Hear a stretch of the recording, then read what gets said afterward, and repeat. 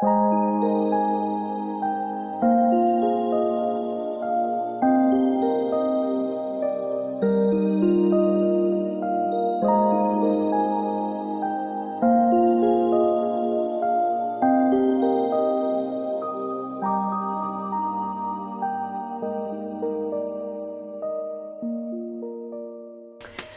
Bonjour les amis Verseau, j'espère que vous allez bien. Bienvenue dans votre guidance générale pour le mois de janvier 2023. Donc nous allons aller voir les conseils des guides, les énergies qui se mettent en place pour ce début d'année, pour vous, pour ce premier mois de l'année 2023.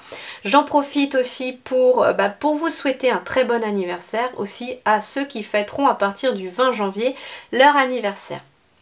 Voilà, je vous souhaite également, puisque nous sommes au mois de janvier, euh, une très très belle année 2023. J'espère qu'elle vous sera favorable et en tout cas je vous souhaite de réaliser tous et toutes vos rêves les plus chers. Voilà, alors déjà c'est un mois de janvier qui va assez bien commencer pour vous puisqu'on est sur la tempérance. La tempérance c'est vraiment ce qui nous symbolise l'équilibre. Euh, ici, euh, comment dirais-je? Oui, on est vraiment sur, euh, sur l'équilibre, sur un équilibre intérieur, mais qui peut aussi se refléter dans l'équilibre extérieur. Hein. Euh, on me parle aussi finalement avec cette carte de la tempérance d'une certaine stabilité qui se maintient, qui se met en place. On vous dit aussi que avec la tempérance, tout est à sa place, tout est là où il doit être et vous êtes là où vous devez être, vous êtes à votre place là où euh, en tout cas vous devez être actuellement. Donc en fait ici, euh, voilà, il y a une sorte de, euh, je sais pas, je, ressens le mot bulle autour de vous, comme une bulle autour de vous pour ce, mois de janvier. Alors ah, on va aller compléter avec l'autre, mais on va voir. Alors justement, nous avons le chevalier de coupe. Le chevalier de coupe, c'est euh, du coup quelqu'un qui passe à l'action, mais en lien avec ses émotions et ses sentiments. ici, le, chevalier de coupe, ça peut indiquer euh, quelqu'un qui se décide à faire quelque chose aussi euh, sous le coup de l'émotion mais positif. C'est-à-dire que j'ai quelqu'un qui se laisse guider par son cœur, par ses émotions, par ses ressentis mais positifs. C'est pour ça d'ailleurs que j'ai l'équilibre derrière parce qu'on vous dit ici qu'avec ce cavalier de coupe, vous êtes quelqu'un qui finalement... Euh, va suivre ses envies, va suivre ses émotions, va davantage s'écouter et écouter ce qu'il ou elle a envie au fond de lui ou au fond d'elle. Et en fait, on, est peut-être en effet avec ce cavalier de coupe euh, sur quelque chose de nouveau aussi qui est en train de se mettre en place. Puisqu'il y a eu toutes les coupes qui sont passées avant et là le cavalier c'est quand même quelqu'un qui passe à l'action pour autre chose, pour peut-être tourner une page ou pour aller vers une nouvelle direction. Ça peut être par exemple aussi, comme on est sur le sentimental, un équilibre dans un couple aussi par rapport à quelque chose que vous avez envie de faire ensemble ou que vous avez envie de mettre en place ensemble. J'écoute, hein. Euh, alors, le cavalier de coupe, je vais quand même vérifier juste vite fait. Alors, on est sur les coupes.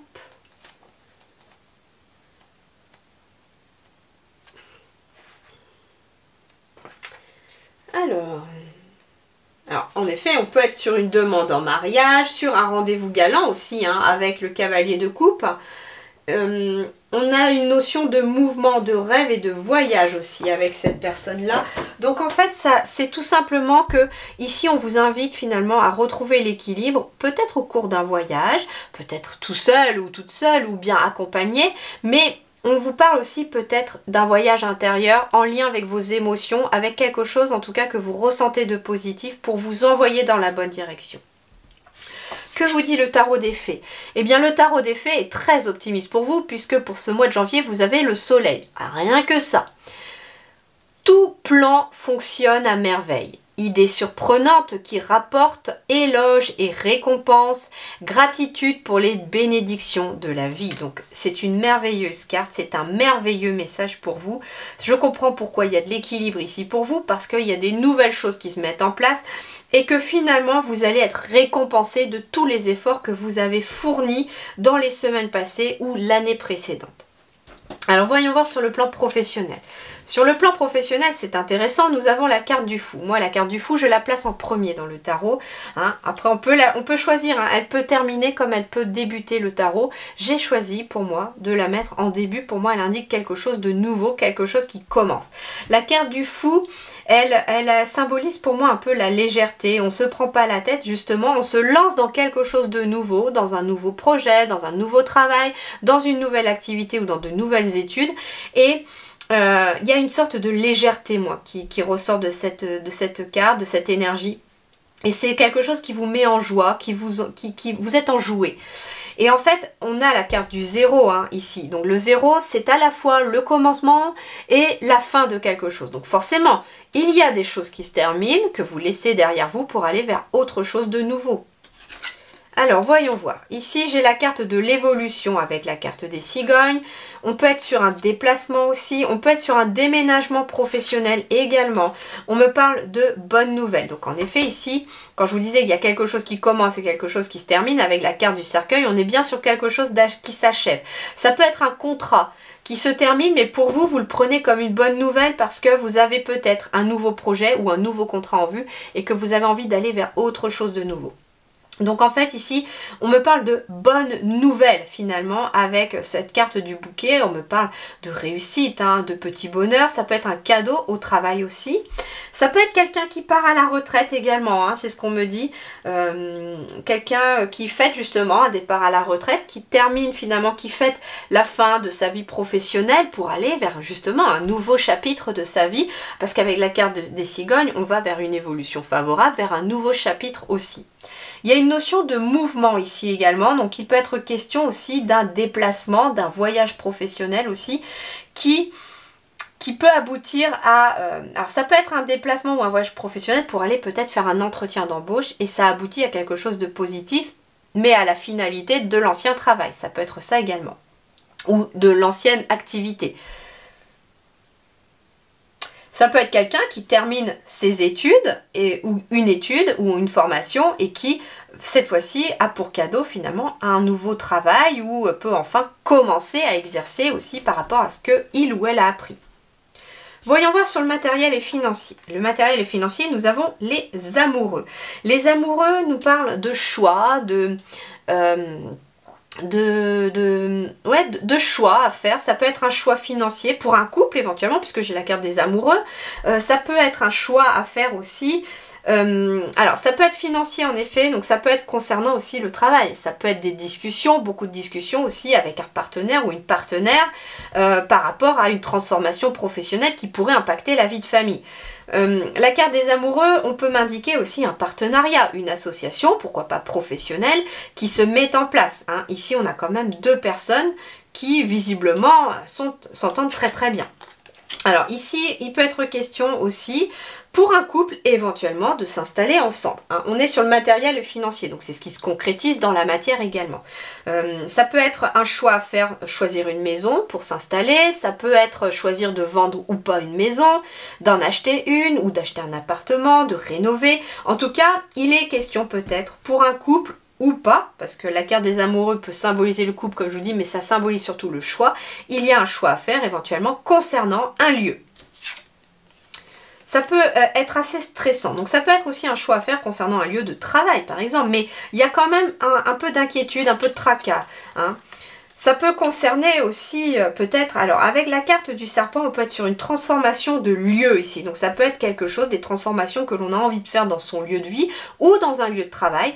Et euh, ici, il y a beaucoup de discussions, il y a aussi beaucoup d'échanges parce qu'il y a des choix à faire concernant ces transformations. Il est aussi peut-être question d'un choix à faire concernant un lieu, qu'il soit privé ou professionnel, euh, pour peut-être s'éloigner, j'en sais rien, de certaines personnes négatives qui vous stressent. Hein. Ici, j'ai quand même la carte du serpent. Ça peut être aussi un agrandissement. Hein. La carte du serpent, c'est quelque chose qui grandit. Donc ça peut être un agrandissement pour un lieu aussi. Ça peut être une équipe qui s'agrandit aussi sur le plan professionnel, puisqu'on est sur aussi l'association et la carte des amoureux. Mais ça met un peu de stress, un peu de tension parce qu'on ne sait pas trop comment ça va se passer, tout simplement. Alors voyons voir justement sur le relationnel. Sur le relationnel, nous avons le 7 de bâton. Le 7 de bâton ici, on est face à quelqu'un qui a dû peut-être euh, euh, se défendre par rapport à ses projets ou défendre ses points de vue. J'ai quelqu'un qui a peut-être besoin de défendre son point de vue aussi, euh, mais on me dit en fait que les obstacles prennent fin ici, que c'est terminé, vous n'avez plus à vous justifier, à euh, vous défendre par rapport à d'autres personnes ici. Pourquoi? Parce que derrière j'ai une porte qui est en train de s'ouvrir. Il y a une nouvelle porte sur le plan relationnel qui s'ouvre. Alors, ici, avec la carte du vaisseau, on peut être sur une idée de mouvement, justement, de quelque chose qui avance. Euh, bah oui, la porte s'ouvre, donc forcément, ici, on va peut-être franchir cette porte pour aller vers de nouvelles relations. Avec le 7 de bâton, ça peut être des personnes toxiques autour de vous ou des personnes négatives. Et puis, il y a eu un ménage de fait, peut-être aussi. Hein. Ici, j'ai la carte euh, de la connaissance. Donc, ça peut être aussi d'avancer vers la connaissance ou d'aller vers une formation aussi il y a quelque chose de stable, quelque chose qui se stabilise également. C'est intéressant parce que ici, avec le set de bâton, il y avait peut-être des blocages, peut-être concernant une formation que vous aviez envie de faire ou un voyage que vous avez envie de faire aussi, peut-être avec votre partenaire ou pas. Et ici, on vous dit que c'est bon, ça s'arrête, les euh, blocages se stoppent, que des choses pourraient être dévoilées ou pas, et qu'il y a un équilibre qui arrive ici concernant peut-être un déplacement. Euh, il peut être question aussi hein, d'un secret qui est dévoilé. Alors je ne sais pas quoi, mais ça peut être un secret qui est dévoilé. Peut-être que vous avez bataillé longtemps pour connaître la vérité ou pour protéger ce secret. Mais en tout cas, ici on vous dit que la stabilité passera peut-être par la révélation de ce secret. Alors intérieurement, qu'est-ce qui se passe ici? C'est intéressant puisque nous avons l'ermite. Et l'ermite, c'est justement une carte d'intériorité, d'introspection. Donc intérieurement, il y a peut-être beaucoup de réflexion, d'introspection pour vous les versos. Euh, on vous dit aussi avec l'ermite que la lumière, elle est en vous. C'est vous qui éclairez votre propre chemin. Cet ermite, il tient lui-même la lampe. C'est à vous finalement d'éclairer votre propre chemin, d'utiliser votre propre lanterne. Alors, ici on me parle de sagesse. Il y a une grande sagesse intérieure en vous, les versos ici, et on vous dit que justement, en étant en introspection, à l'écoute de vous-même pour ce mois de janvier, vous serez à même d'écouter beaucoup plus votre propre sagesse intérieure, mais aussi la sagesse de vos guides, on me dit. Ben oui, il y a des choix à faire, il y a des choix à faire. Hein. C'est ce que je vous disais tout à l'heure euh, avec la carte des amoureux, qu'on était sur des choix. Et en fait, ces choix, euh, eh bien, peut-être que vous êtes un petit peu euh, indécis, confus par rapport à ces décisions que vous avez à prendre. Cependant, on vous dit que au fond de vous, à l'intérieur de vous, vous savez quelle direction prendre. Mais on vous dit surtout de faire le choix de la sagesse. Et il y a un cadeau justement qui arrive au bout du chemin. Donc à partir du moment où à l'intérieur de vous, vous aurez réussi à faire un choix, à euh, accepter peut-être un nouveau chemin qui s'offre à vous, eh bien un cadeau de l'univers viendra jusqu'à vous. Alors ça se passe à l'intérieur, donc ça peut être un cadeau intérieur qui vous, qui vous sera fait, comme un cadeau bien concret qui se matérialise justement à l'extérieur parce que à l'intérieur vous aurez fait quelque chose de très euh, positif comme travail pour vous.